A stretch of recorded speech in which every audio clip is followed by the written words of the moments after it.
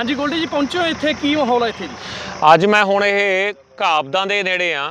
ਇਹ ਜਿਹੜਾ ਸਰਹੰਦ ਚੋਂ ਵੱਜਦਾ ਇਹ ਸਰਹੰਦ ਚੋਂ ਦੇਖੋ, ਇਹ ਜਿਹੜਾ ਪਾਣੀ ਪੂਰਾ ਨੱਕੋ ਨੱਕ ਭਰਿਆ ਚੱਲ ਰਿਹਾ ਹੈ, ਜਿਹਦੇ ਕਿਨਾਰਿਆਂ ਦੇ ਉੱਤੋਂ ਦੀ ਪਾਣੀ ਟੱਪਣ ਦਾ ਤੇ ਮੈਂ ਇਹ ਖਤਰੇ ਦੀ ਨਿਸ਼ਾਨੀ ਹੈ ਇਸ ਟਾਈਮ ਪਰ ਮੈਂ ਇੱਕ ਬੇਨਤੀ ਕਰਨੀ ਚਾਹਣਾ ਪ੍ਰਸ਼ਾਸਨ ਨੂੰ ਵੀ ਤੇ ਪਿੱਛੋਂ ਅਧਿਕਾਰੀਆਂ ਨੂੰ ਵੀ, ਕਿਉਂਕਿ ਇਹ ਏਰੀਆ ਜਿਹੜਾ ਇੱਥੇ ਹਲੇ ਜਿਹੜੇ ਕੁਝ ਪਿੰਡ ਨੇ ਜਿਨ੍ਹਾਂ ਦੇ ਵਿੱਚ ਪਾਣੀ ਆਇਆ ਹੈ, ਕੋਈ ਜ਼ਿਆਦਾ ਹੜ੍ਹਾਂ ਦੀ ਮਾਰ ਜੇ ਕਹੀ ਕਿ ਬਹੁਤ ਜ਼ਿਆਦਾ ਵੱਡਾ ਨੁਕਸਾਨ ਨਹੀਂ ਹੈ ਪਰ ਕੁਝ ਪਿੰਡ ਜਿਹੜੇ ਨੇ ਸਾਡੇ ਜਿਵੇਂ ਆਨੰਦਗੜ੍ਹ ਹੋ ਗਿਆ ਮਹਿਸਮਪੁਰ ਹੋ ਗਿਆ ਤੇ ਇਹਨਾਂ ਪਿੰਡਾਂ ਦੇ ਵਿੱਚ ਕਾਫੀ ਨੁਕਸਾਨ ਹੋਇਆ ਹੈ ਤੇ ਫਸਲਾਂ ਦਾ ਨੁਕਸਾਨ ਹੋਇਆ ਹੈ ਤੇ ਨਾਲ ਹੀ ਜਿਹੜਾ ਆ ਜਿਹੜਾ ਏਰੀਆ ਜੇ ਆਪਾਂ ਦੇਖੀਏ ਇਸ ਏਰੀਆ ਦੇ ਵਿੱਚ ਆ ਦੇਖੋ ਤੁਸੀਂ ਪਿੱਛੇ ਫਸਲ ਜਿਹੜੀ ਹੈ ਇਹਨਾਂ ਦੀ ਪੂਰੀ ਜਿਹੜੇ ਆ ਘੱਟੋ ਘੱਟ 20 25 ਕਿੱਲਿਆਂ ਦੇ ਵਿੱਚ ਇਹ ਹੈ ਤੇ ਅੱਗੇ ਵੀ ਪਾਣੀ ਜਿਹੜਾ ਵਧਿਆ ਹੋਇਆ ਪਰ ਨਾਲ ਹੀ ਇਹ ਚਾਹੁੰਦਾ ਕਿ ਜੇ ਇਹ ਚੋ ਨੀਵਾ ਹੋ ਜੂ, ਤਾਂ ਇਹ ਜਿਹੜਾ ਫਸਲਾਂ ਦਾ ਪਾਣੀ ਹੈ ਚੋ ਦੇ ਵਿੱਚ ਨਿਕਲ ਜੂਗਾ।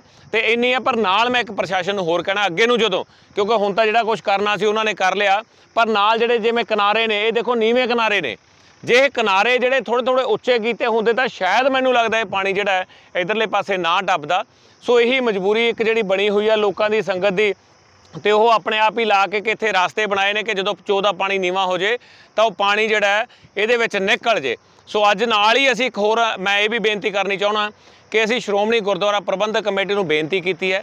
ਨਾਲ ਹੀ ਅਸੀਂ ਇੱਥੇ ਗੁਰੂ ਘਰ ਜਿਹੜਾ ਸਾਡੇ ਨਾਨਕਣਾ ਸਾਹਿਬ ਜਾਂ ਹੋਰ ਗੁਰੂ ਘਰਾਂ ਨੂੰ ਅਸੀਂ ਬੇਨਤੀ ਕੀਤੀ ਹੈ ਕਿ ਇਸ ਤੋਂ ਬਾਅਦ, ਕਿਉਂਕਿ ਹਲੇ ਤਾਂ ਪਾਣੀ ਦੇ ਜਿਹੜਾ ਨੁਕਸਾਨ ਹੋ ਰਿਹਾ ਹੈ ਉਹਦਾ ਇੱਕ ਵੱਖਰਾ ਹੈ, ਪਰ ਨੁਕਸਾਨ ਜਿਹੜਾ ਉਸ ਤੋਂ ਬਾਅਦ ਜਿਹੜਾ ਨੁਕਸਾਨ ਸ਼ੁਰੂ ਹੋਣਾ ਫਸਲਾਂ ਦਾ, ਲੋਕਾਂ ਦਾ, ਸੰਗਤ ਦਾ, ਲੰਗਰ ਪ੍ਰਸ਼ਾਦੇ ਦਾ ਜਿਹੜਾ ਉਹ ਹਲੇ ਬਹੁਤ ਵੱਡਾ ਹੈ ਤੇ ਇਹਦੇ ਲਈ ਅਸੀਂ ਮੈਂ ਗੁਰੂ ਘਰਾਂ ਨੂੰ ਬੇਨਤੀ ਵੀ ਕੀਤੀ ਹੈ ਕਿ ਪਨੀਰੀ ਜਿਹੜੀ ਹੈ, ਉਹ ਬੀਜੀ ਜਾਵੇ ਤੇ ਨਾਲ ਹੀ ਮੁਫਤ ਪਨੀਰੀ ਜਿਹੜੀ ਹੈ, ਉਹ ਸੰਗਤ ਦੇ ਵਿੱਚ ਦਿੱਤੀ ਜਾਵੇ ਤਾਂ ਕਿ ਜਿਹੜੀ ਫਸਲ ਹੈ ਅਗਲੇ ਪਾਸੇ ਲਾ ਸਕਣ ਤੇ ਨਾਲ ਹੀ ਅਸੀਂ ਹੁਣ ਜਿਹੜਾ ਗੁਰਦੁਆਰਾ ਨਾਨਕਾਣਾ ਸਾਹਿਬ ਜਾਂ ਭਵਾਨੀਗੜ੍ਹ, ਜਿਹੜਾ ਗੁਰੂ ਤੇਗ ਬਹਾਦਰ ਜੀ ਦਾ ਗੁਰੂ ਘਰ ਹੈ ਜਾਂ ਹੋਰ ਗੁਰੂ ਘਰਾਂ ਦੇ ਵਿੱਚੋਂ ਐਸਜੀਪੀਸੀ ਵੱਲੋਂ ਜਿਹੜਾ ਲੰਗਰ ਤਿਆਰ ਕੀਤਾ ਜਾਂਦਾ, ਇਹ ਵੀ ਅਸੀਂ ਬੇਨਤੀ ਕਰਦੇ ਹਾਂ ਪ੍ਰਧਾਨ ਸਾਹਿਬ ਨੂੰ, ਮੈਂਬਰ ਸਾਹਿਬਾਨ ਨੂੰ, ਕਿ ਉਹ ਸੰਗਤ ਦੇ ਵਿੱਚ ਜਾ ਕੇ ਵਰਤਾਉਣ ਤਾਂ ਕਿ ਜਿਹੜਾ ਇੱਕ ਸੇਵਾ ਦਾ ਕਾਰਜ ਹੈ ਉਹ ਪੂਰਾ ਹੋ ਸਕੇ। ਸਰਕਾਰ ਨੂੰ ਮੇਰੀ ਇੱਕ ਬੇਨਤੀ ਹੈ।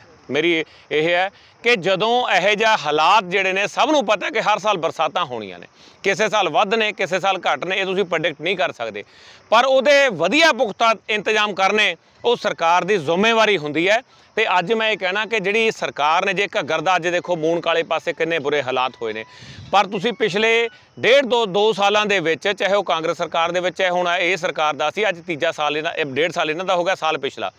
ਇਹਦੇ ਵਿੱਚ ਘੱਗਰ ਦੀ ਸਫ਼ਾਈ ਕਰਾਈ ਹੀ ਨਹੀਂ ਗਈ ਹੈ। ਸੋ ਇਸ ਕਰਕੇ ਉਹ ਜੇ ਸਫ਼ਾਈ ਨਹੀਂ ਹੋਈ ਤਾਂ ਉੱਥੇ ਜਿੱਥੇ ਜਾ ਕੇ ਇਹ ਰੁਕ ਜਾਂਦਾ ਪਾਣੀ, ਉੱਥੋਂ ਜਾ ਕੇ ਉਹ ਬੰਨ ਜਿਹੜੇ ਨੇ ਟੁੱਟਦੇ ਨੇ ਤੇ ਪ੍ਰਸ਼ਾਸਨ ਨੂੰ ਜਾਂ ਅੱਗੇ ਸਰਕਾਰ ਨੂੰ ਇਹ ਬੇਨਤੀ ਹੈ ਕਿ ਅੱਗੇ ਤੋਂ ਇਹਨਾਂ ਚੀਜ਼ਾਂ ਦਾ ਪੁਖਤਾ ਇੰਤ- ਇੰਤਜ਼ਾਮ ਕੀਤਾ ਜਾਵੇ ਤੇ ਉਹਨਾਂ ਲੋਕਾਂ ਦੇ ਨਾਲ ਅਕਾਲੀ ਦਲ, ਸ਼੍ਰੋਮਣੀ ਅਕਾਲੀ ਦਲ ਦੇ ਸਾਰੇ ਵਰਕਰ, ਸਹਿਬਾਨ, ਸਾਰੇ ਲੀਡਰ, ਸਹਿਬਾਨ, ਸ਼੍ਰੋਮਣੀ ਗੁਰਦੁਆਰਾ ਪ੍ਰਬੰਧਕ ਕਮੇਟੀ ਸਾਰੀ ਉਹ ਸੰਗਤ ਦੇ ਨਾਲ ਖੜੇ ਨੇ ਇਸ ਦੁੱਖ ਦੀ ਘੜੀ ਦੇ ਵਿੱਚ ਜਿਨ੍ਹਾਂ ਦਾ ਇਹ ਨੁਕਸਾਨ ਹੋਇਆ ਇਸ ਹੜ੍ਹ ਦੇ ਵਿੱਚ ਤਾਂ ਕਿ ਜਿਹੜਾ ਅਸੀਂ ਇਲਾਕੇ ਦੀਆਂ ਸੰਗਤਾਂ ਨੂੰ ਬੇਨਤੀ ਕਰਦੇ ਹਾਂ ਕਿ ਇੱਕ ਦੂਜੇ ਦੀ ਮਦਦ ਕਰੀਏ ਤਕੜੇ ਹੋ ਕੇ ਜਿਹੜਾ ਇਹ ਹਮਲਾ ਮਾਰੀਏ ਤਾਂ ਕਿ ਇਸ ਜਿਹੜਾ ਇੱਕ ਬਹੁਤ ਵੱਡਾ ਪੀੜਾ ਜਿਹੜੀ ਹੈ ਇਹਦੇ ਵਿੱਚੋਂ ਆਪਾਂ ਬਾਹਰ ਨਿਕਲ ਸਕੀਏ। ਮੰਤਰੀ ਭਗਵੰਤ ਮਾਨ ਸੰਗਰੂਰ ਚ ਆਏ ਕਹਿ ਰਹੇ ਨੇ ਕਿ ਸਾਡੀ ਸਰਕਾਰ ਆ ਅਸੀਂ ਪਾਣੀ ਦੇ ਵਿੱਚ ਖੜੇ ਆ ਜੀ ਦੂਜੀਆਂ ਸਰਕਾਰਾਂ ਤਾਂ ਕਦੇ ਖੜਦੀ ਹੀ ਨਹੀਂ ਸੀ ਐਵੇਂ ਗੱਲ ਇਹ ਹੈ ਵੀ ਇਹਨਾਂ ਦੇ ਤੁਸੀਂ ਆਪ ਹੀ ਦੇਖਿਆ ਵੀ ਪੰਜ ਚਾਰ ਐਮਐਲਏਆਂ ਦੇ ਤਾਂ ਮਤਲਬ ਛਿੱਤਰ ਵੀ ਪੈ ਗਏ ਲੋਕਾਂ ਤੋਂ। ਜਿਹੜੇ ਨੇ ਤੁਸੀਂ ਸੰਗਤ ਦੇ ਵਿੱਚ ਗਏ, ਜੇ ਤੁਸੀਂ ਪਾਣੀ 'ਚ ਖੜਦੇ ਪਾਣੀ 'ਚ ਖੜਦੇ ਨੇ, ਇਹ ਨਹੀਂ ਹੈਗਾ ਪਾਣੀ 'ਚ ਨਹੀਂ ਖੜਦੇ ਪਰ ਪਾਣੀ ਇਹ ਜਿਹੜਾ 6-6 ਇੰਚ ਜਾਂ 8-8 ਇੰਚ ਪਾਣੀ ਜਿਵੇਂ ਕੱਲ ਭਗਵੰਤ ਮਾਨ ਸਾਹਿਬ ਵੀ ਖੜੇ ਇਹ ਪਾਣੀ ਉਹ 'ਚ ਨਹੀਂ ਖੜਦੇ ਤੇ 6-6 ਫੁੱਟ ਹੈ। ਇਹ 6 ਇੰਚ ਵਾਲੇ ਪਾਣੀ 'ਚ ਖੜ ਕੇ ਫੋਟੋਆਂ ਕਰਾਉਂਦੇ ਨੇ। ਫਿਰ ਉਹਨੂੰ ਸੋਸ਼ਲ ਮੀਡੀਆ ਤੇ ਪਾਉਂਦੇ ਨੇ। ਬਸ ਇਸ ਕੰਮ ਲਈ ਇਹ ਆਉਂਦੇ ਨੇ। ਇਹ ਤੋਂ ਇਲਾਵਾ ਮੇਰੀ ਇੱਕ ਮੈਂ ਹੋਰ ਇੱਥੇ ਗੱਲ ਕਰਨੀ ਚਾਹਣਾ ਮਾਨ ਸਾਹਿਬ, ਤੁਸੀਂ 33 ਕਰੋੜ ਰੁਪਈਆ ਕਹਿੰਦੇ ਅਨਾਉਂਸ ਕੀਤਾ ਸੀ ਪੰਜਾਬ ਦੇ ਹੜ੍ਹਾਂ ਲਈ। 14 ਤੋਂ ਉੱਪਰ ਜ਼ਿਲ੍ਹੇ ਨੇ ਜਿਹੜੇ ਹਰ ਪ੍ਰਭਾਵਿਤ ਨੇ। ਇੱਕ ਜ਼ਿਲ੍ਹੇ ਨੂੰ ਕਿੰਨੇ ਪੈਸੇ ਆਏ? ਤਕਰੀਬਨ ਸਵਾ ਦੋ ਕਰੋੜ ਰੁਪਈਆ ਤੇ ਨਾਲ ਤੁਸੀਂ ਜਿਹੜਾ ਹੈ, ਜਿਹੜਾ ਪਸ਼ੂਆਂ ਦੇ ਚਾਰੇ ਲਈ, ਦਵਾਈਆਂ ਲਈ ਤੁਸੀਂ ਕੀ, ਕਿੰਨੇ ਪੈਸੇ ਜਾਰੀ ਕੀਤੇ? 50000 ਰੁਪਈਆ ਪਰ ਜ਼ਿਲ੍ਹਾ 50000 ਸਿਰਫ 50000 ਰੁਪਏ ਇੱਕ ਜ਼ਿਲ੍ਹੇ ਨੂੰ ਜਾਰੀ ਕੀਤਾ ਹੈ ਕੱਲਾ ਦਵਾਈਆਂ ਤੇ ਪਸ਼ੂਆਂ ਦੇ ਲਈ। ਯਾਰ 50000 ਤਾਂ ਮੈਂ ਗਰੰਟੀ ਕਰਦਾ, ਸ਼ਾਇਦ ਇੱਕ ਸ਼ਹਿਰ ਦੇ ਪਸ਼ੂ ਨਹੀਂ ਸੈੱਟ ਆਉਣੇ ਤੁਸੀਂ ਕਿਹੋ ਜਿਹੇ ਮਜ਼ਾਕ ਕਰਦੇ ਹੋ ਲੋਕਾਂ ਨਾਲ? 28 ਤੇ 33 ਕਰੋੜ, ਜਿਹੜਾ 14 2 ਕਰੋੜ ਰੁਪਏ ਨਾਲ ਤੁਹਾਨੂੰ ਲੱਗਦਾ ਕਿ ਅਸੀਂ ਚੀਜ਼ਾਂ ਸੈੱਟ ਆ ਜਾਣਗੀਆਂ? ਯਾਰ, ਹਾਲਾਤ ਦੇਖੋ ਤੁਸੀਂ, ਜਿਹੜਾ ਤੁਹਾਨੂੰ ਸਟੋਂ ਡਿਜ਼ਾਸਟਰ ਮੈਨੇਜਮੈਂਟ ਦੇ ਵਿੱਚ ਪੈਸਾ ਆਉਂਦਾ ਹੈ ਜਾਂ ਕੋਈ ਹੋਰ ਚੀਜ਼ਾਂ ਆਉਂਦੀਆਂ ਨੇ ਤੁਹਾਨੂੰ ਲੱਗਦਾ, ਤੁਸੀਂ ਕਹਿੰਦੇ ਹੋ ਕੇਂਦਰ ਨੇ ਸਾਨੂੰ 10 ਤਰੀਕ ਨੂੰ ਭੇਜੇ, ਜੇ ਤੁਸੀਂ ਇਹਨੂੰ ਪਹਿਲੀ 2 ਮਹੀਨੇ ਪਹਿਲਾਂ ਕੇਂਦਰ ਨੂੰ ਲਿਖ ਕੇ ਭੇਜੋ, ਵੀ ਭਾਈ ਸਾਨੂੰ 1 ਮਹੀਨਾ ਪਹਿਲਾਂ ਅਸੀਂ ਪੁਖਤਾ ਇੰਤਜ਼ਾਮ ਕਰਨੇ ਨੇ, ਤਾਂ ਉਹ ਸਾਨੂੰ ਉਹਦਾ ਇੰਤਜ਼ਾਮ ਕ- ਪਹਿਲਾਂ ਪੈਸੇ ਦਾ ਇੰਤਜ਼ਾਮ ਕਰਕੇ ਦਿਓ, ਤਾਂ ਮੈਨੂੰ ਲੱਗਦਾ ਸੌਖਾ ਹੈ।